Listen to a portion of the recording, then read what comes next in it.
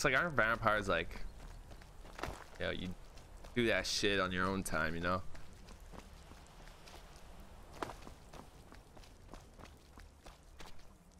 I don't think there's like, can you be an open vampire? Like there's dark elves and shit, right? Lizard people.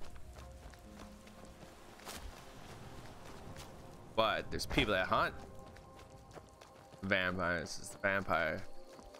The what are these dudes? Dawnguard. So like, I just don't think there's. Skyrim's not ready for open vampires, not yet. A few more. Few more years to progress to that point.